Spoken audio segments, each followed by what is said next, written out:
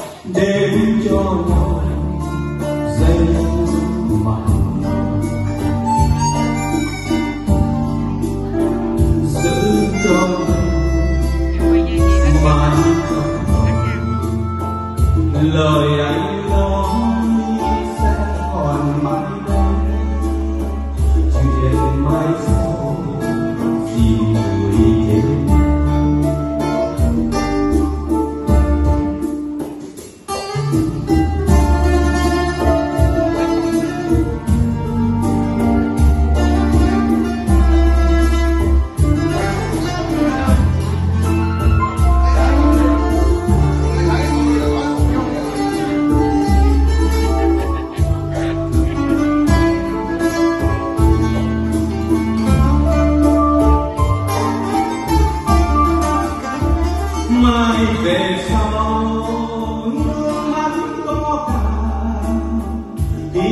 xa gửi cho đàn chiều người quen có mấy người quen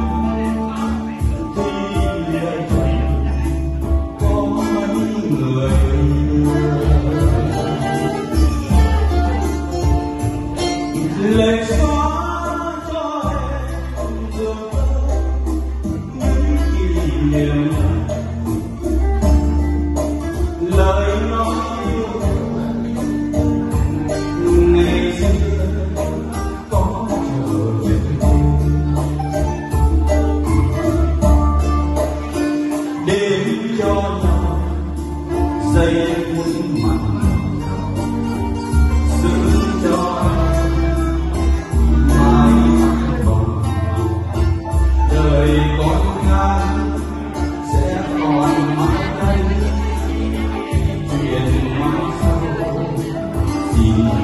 음